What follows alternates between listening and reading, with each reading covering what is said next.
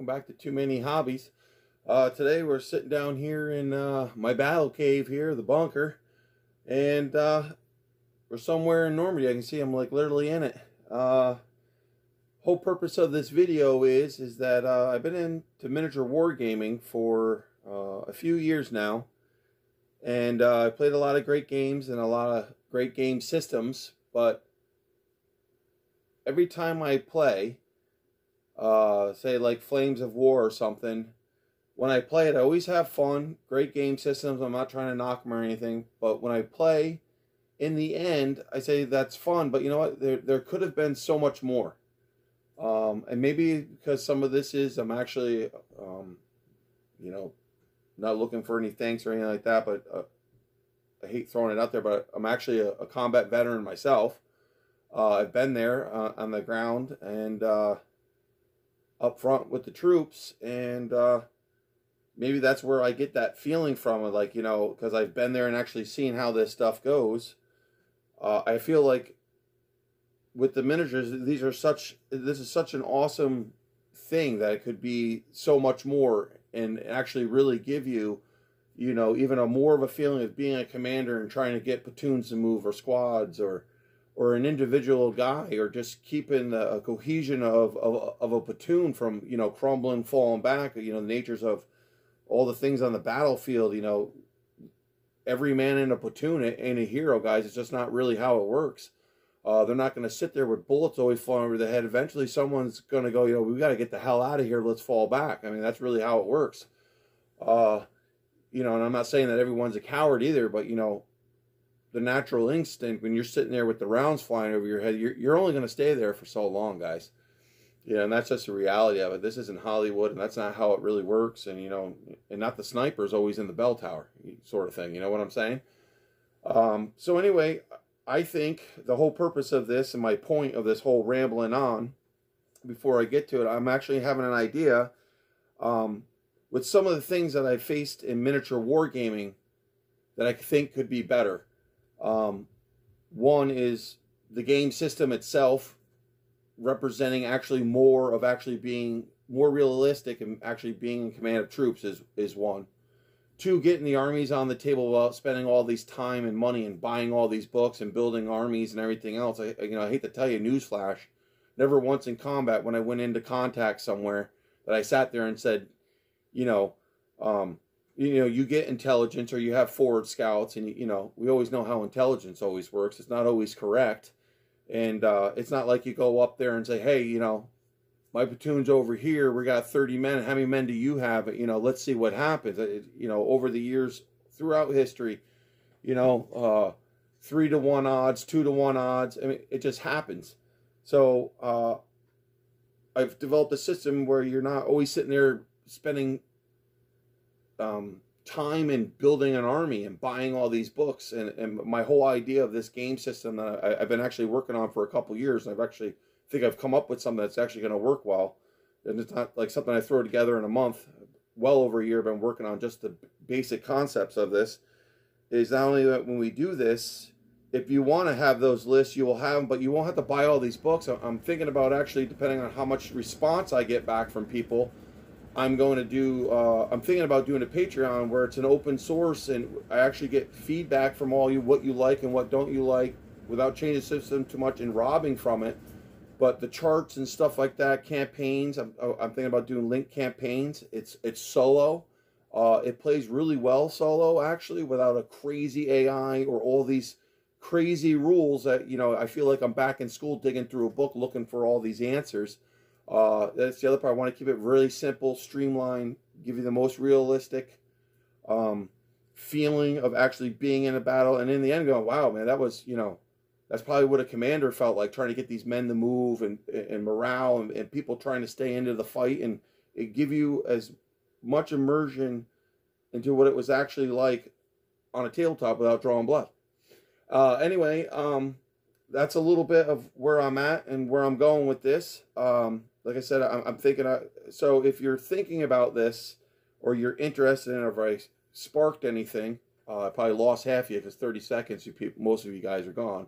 But if you're still here and you're interested in this, uh, I'm going to go through and kind of just show you how uh, like a turn kind of goes in with just um, um, having the initiative and how it goes back and forth. And you don't have, uh, when you're playing solo or you're playing against someone else, how you don't have a player just stand there while one side moves all their army. And then once in a while, I, I put this guy in ambush and I get to react.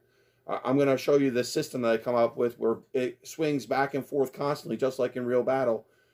In a flash, guys, the initiative in any kind of engagement swings just like that. It's so fast and it's so back and forth all the time. Um, it's total chaos. It's chaotic with somewhat controlled organization. Um, is my easiest way to explain it. So I kind of want to show you and probably go into that now, but I wanted to get the big stuff out of the way, kind of like how the initiation and moving and all that, actually how a turn would go.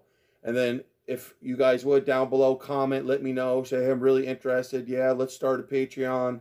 I'm interested. I'll support you. Like I said, I'm not trying to get rich off this. All that money's going to go for actually um, getting this done and setting things up and having an open source, guys. So when you're a part of this rule set, it's a community, guys. Not uh, you know you're separated and you you know what I'm saying. It's it, it's more community based. Now you you buy a book, you're at home, and that's it we can have that open source and that great use the uh, technology of today to build on a great rule set, guys. And you can, you know, and it's, the one major part I also want to say is when you do that and we add things and change things, this is your game, guys. You can play it the way you want. You keep what you like, take away what you don't like, add other things, you know, like uh, shooting tables that maybe you like and maybe you like a different shooting table.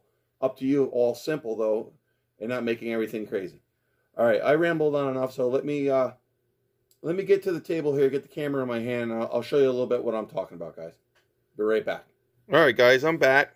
Got the camera in the hand, so it's a little uh, jittery, and I'm jarring you all over the place. Uh, got a lot on my mind trying to get this all out, and uh, a little excited about this whole thing, to be uh, quite honest. But uh, here we are. I got my table here.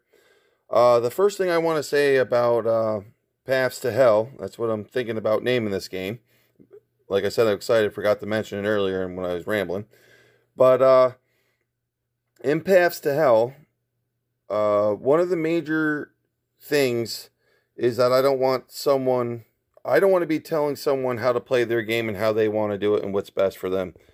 Uh, an example, like right now, um, this game can be played in 15 mil, 28 mil combination. My terrain's 28, my figures are 15 and the unit sizes and how you organize your army, I have ideas, but then you get to choose what you want to do and what figures you have and what's easiest for you to set up and what size game in the end that you want to run. I mean, I have this idea of how you can set it up. If you want to use 28 millimeters, you can use individual guys, guys, to represent things where you don't have to have hundreds of models. Again, I love painting. I love getting all that stuff done and painting my miniatures and building stuff. But you know what? I also like playing the game. So until then, until you have those hundreds of models built, if you want to get a game in and you want to play, and it's just as enjoyable as when you got all the models on table, that's my idea.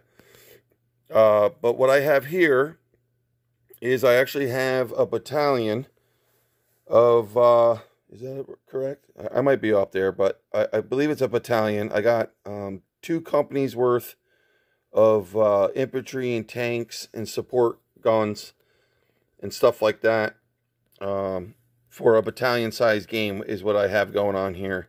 A little rundown of the scenario real quick before I, I, go any further. You know, like I said, this is just a town somewhere in Normandy, France. Late 44, Americans are moving through uh, Europe or through France, and they pushed up to this town. Um, and uh, they're just trying to push their way through. At first, I already did round one uh, kind of move things along uh, before I show you how things actually go here. Um, you know, just like normal, you know, the moving stages aren't always so interesting, so I wanted to get things a little bit closer, but this is how the turns will go. Um, and uh, like I said, somewhere in France, and uh, Americans are trying to push through, and holy crap, they run into a whole bunch of uh, whole bunch of uh, Germans, guys. Uh, so anyway, like I was saying, uh, right now, like this base here, would be a representation of a platoon. Uh, I keep these dice behind here. They have a power or full power or full platoon is, is six. As you can see there, they've been hit. They got a pin marker there, and, and a, the pin and the morale all work in cohesion with each other. All the same thing with the terms intermixed, but they all do the same thing. Uh, you see a bailed marker there from Flames of War that I've 3D printed out. They've actually used that, you know, can reuse it. That's a great part. You can use stuff that you have, guys, and it's not going to sit on the shelf and waste. But um, the idea is is that that platoon's full strength with V6. They've been hit a couple times.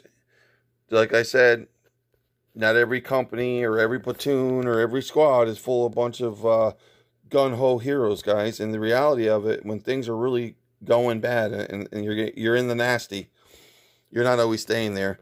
But these guys were up and in the building here. They failed one of their uh, morale checks because they're over half strength, which I'll explain all this later. They actually fell back. If they were under half strength and they failed, they would run off the table, guys, and, and the unit would, that platoon would be destroyed. Uh, why it's very important for management of your pin and your morale. Very important in this game to actually use command to actually rally these guys, get guys going. It's kind of to simulate, you know, come on, guys, let's, you know, those pep talks and that pushing, that commander showing his influence on the battlefield to get these guys moving again, guys. Uh, you know, and not just one person. I'm not saying, you know, the field commander or anything. I'm talking, you know, the lieutenant in the platoon or the NCO or the sergeant, the squad leaders. It, it's all to represent all that, what's going on. I mean, right now, this unit's representing that it's, it's having a critical breakdown. Not good. So anyway, normally, like I was saying, in Paths to Hell, I don't have this game as when you play solo and you play with a partner, the nice part, so you don't have tons of rules and all this different stuff you got to follow, it's both played the same. So if I play another person, I just have a person here. And if I don't have a person, when I play solo, the rules are still the same and they still work both ways, guys. This is a great part that I kind of figured out here. Sorry about that stand in the way there. So that's one of the, the nice things about this system that I've developed.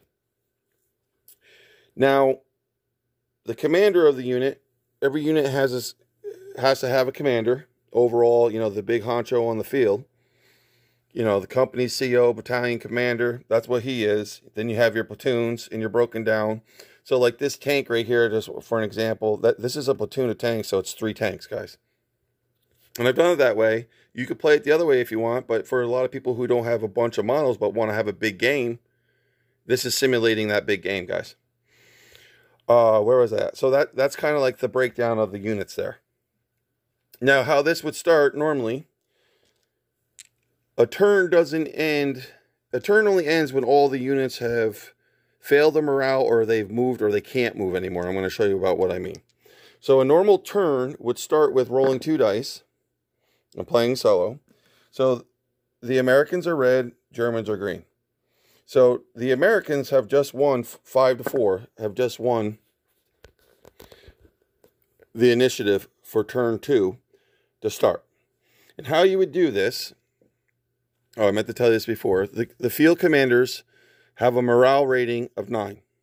Your normal platoons or your tanks or your infantry units or your, your artillery guns, whatever you may have out in the field, their morale rating is eight. Now, how the field commander works, if I want, you would pick a unit. Just say, I'm going to pick, that platoon's all messed up, but I'm, uh, I'm all, let me come over to the Americans. I'm going to pick this Sherman sitting over here, Firefly, sitting over here on the edge of the board, right there. I want to activate that unit. He's full strength. That's what the dice means back there. I'm going to come over here. I'm going to grab two dice. Now, his morale is eight. I'm going to roll. I rolled exactly an eight. So now in that case, I get to do what I want, one action with this unit. Let's say, I, will have all this written down, but just say, and this is what I'm talking about on Patreon, everyone will have access to these free files for all these rules. Uh, just say, I wanted to move this guy. He moved his distance. That guy's done. He moved. That's what he did. Now, that guy is not done. He moved once. His morale's eight. Now he gets to roll again. He rolled a six. As long as he keeps rolling under his morale, say, so when he started, he started at an eight, he did an action. Now that morale becomes down to seven. Now he needs to roll less than seven. And you can keep going on all the way down to two to where you can't move anymore if you're that lucky and roll. Now, this is going to represent the chaos, the confusion.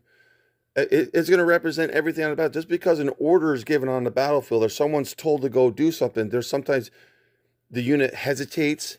They got that bad feeling. No one's moving. They do go, they don't go smoke. I mean, there's all kinds of things that may affect these things on a battlefield. And this is what's nice, especially when you play solo. When you're playing the other side, just because I want to do something doesn't mean it always happens. So now just say I move that, I passed the morale check again. This unit's good to go, right? So also you're going to keep track of your actions. So say now, oh, all right, I, I move this guy. I want to move him again into like, just say this track wasn't here for right now that, that wouldn't make sense what I'm doing, but I'm just trying to explain all this. He moved there. There's no target there. He moved, I'm done. But now, because he did that, I, I still have the initiative. But he's he's took two actions, and what I you would do is take another die. The red die I mean he's taken two actions, but even now, even uh, it's still my turn he's still not done. If I want to come back later to move him to do something, I can. Now, just say, all right, I moved him. I want to go move my infantry unit there on the corner. I want to move them out so that Stug shoots them all right in the face. God, why you would do that? I don't know, but I'm just trying to show a thing. So they're sitting there. Their morale is eight. I roll again. I got a six. I'd move that unit. They move out. They want to move again and get up across the street. They rolled a seven. They get to do it again. They move. They so that's simulating them running across the street, and that Stug did never never saw them. Now, when that happened, the other player now when like when you're playing or you're playing solo now in the reality of life when they ran out across the street like that that Stug has an option He's going to say, I want to steal the initiative at any time. That's something that makes sense that someone would do. I mean, he's they're running out and straight in front of a tank. Most likely the tank would see them, guys. But of course, there's always the fog of war, right? So that tank, they, say they moved out to the middle of the street, that platoon. Now the Stug is going to roll their morale. They pass with double ones without a problem. It's not done yet. That Stug says, all right, now they pass they got the initiative to take the initiative to do something about this, but do they see them in the chaos of the battlefield? They roll a six. You need a three or higher to see them. They do see them. Now that Stug is is not just one Stug, it's three Stugs, and they're going to open up with their, of course, their machine guns, right? So that would be nine dice for this Stug to shoot.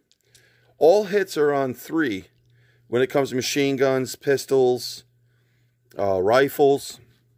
Like I said, guys, so you don't have all these charts to go back and forth. Oh, I got two guns, two guns here. I got I got six rifles, but I got SMGs and I got machine gun.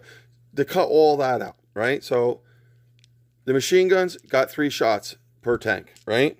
So you roll hits on threes. Or actually, I'm sorry, let me back up.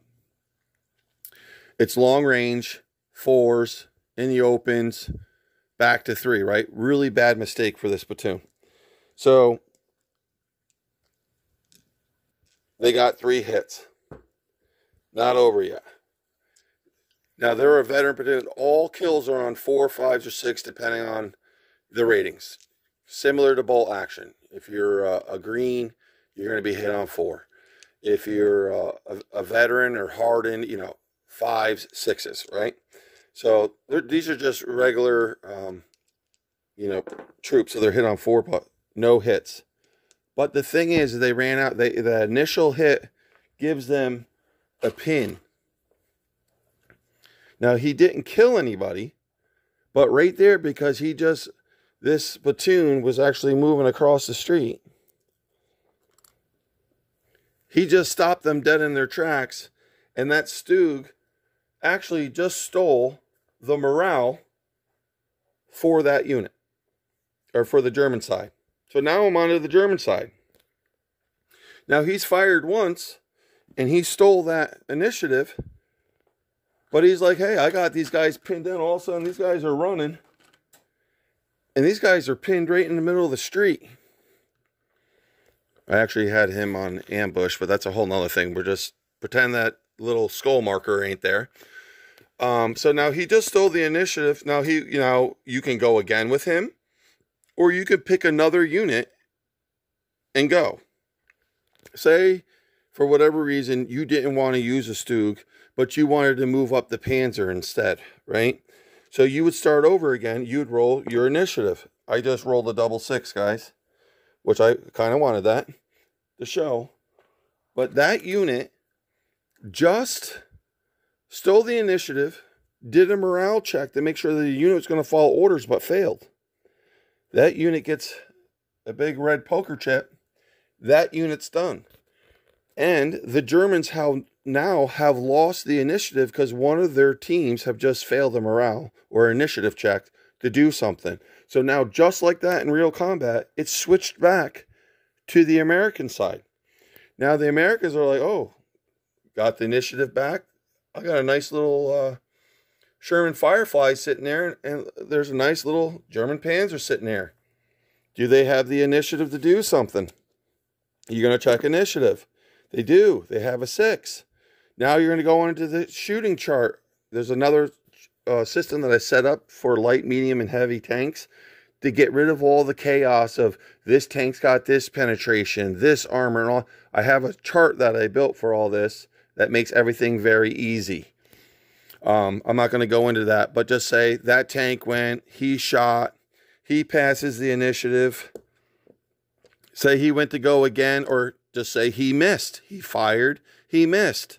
That was one action, right? Well, now he wants to go again. So, oh, he goes six. He would be able to take another action. If he wanted, he could shoot at that tank. He could move out of the way, not press his luck, or he could continue to press the fight, just like in real combat. Sometimes when guys go charging in, they come in hard and charging, and then all of a sudden they're like, whoa, wait a minute, what the hell am I doing? Let me get some cover, then throw. I mean, there's all kinds of variables that happen. But say he went again, he fired to say, oh man, this tank crew needs to go back to tanker school because it can't hit anything. He rolls. Of course, I'm not kidding. Just say they rolled a double six. They're done. They would get a token. They lost initiative. Now it goes back to the Germans. The Germans now have the initiative they say on this platoon they're going to move up and advance. And it would go on like that back and forth swinging initiative and moving and doing these actions that you could take like you, you could rally you could go down with a unit dig in um, move double move all that stuff move shoot uh, depending on how far how many dice because you roll dice to see actually how far you go. You just don't go as far as you want or a set thing it, it, all these things are going to be like variables in here. So not everything always goes your ways. Simulating really actually how combat goes because nothing ever really goes your way. Um, you, you know, in a in a sort of sense. Just because you want to move six inches or you want to get to a wall doesn't mean you always make it to that wall that's 50 yards away. And I wanted to simulate that. So that's how that would go. And a turn would go like that all the way till every unit would have a red marker or they were on ambush and they didn't they're waiting. If a unit puts a unit on ambush and they're waiting they don't want it they could pass they could pass the other side gets all done. And then the end of the turn would come. At the end of that turn you would have units that were hit or beat up you would want to rally. If you at the end that gives you a chance to rally. You can also rally your troops during your turn if you roll for it and then there's a whole system of rallying why you're going to keep those troops pushing hard through, you know, even though they're getting beat up, bullets are flying, they got the morale, the initiative, they're still going, they're still pushing forward, pushing hard. Um, anyway, that's a little bit of it, and that's a little bit of my ideas. I just wanted to get this out there to see what my feedback is, that what I, what I get, what people think about this system, how it's going. Um, I'm going to throw this up there. Like I said, the more comments, the more stuff I get, the farther I'm going to push with this. I don't want to sit here and do all this, and no one wants to do anything. This is just an idea that I have. I want to throw it out there, see what people think. Let me know. Be greatly appreciated. Like I said below, thumbs up. Uh, please comment below. Let me know what you think about this system, how it would go back and forth. I'm going to do another video where I'm not so amped up and crazy and actually go through step by step and do a whole turn with shooting and everything else. Uh, that's going to be the very next video to actually show it a little bit more in, in depth. But I'm just trying to get it out there, just the general idea of how things would work in Paths to Hell. Anyway, thanks for watching. Appreciate you stopping by. I hope you're interested. Like I said, don't forget, comment below. Let me know. That'll help and get this moving forward even more. Uh, thanks for watching. Appreciate it. I'll see you guys next time. Happy gaming, everybody.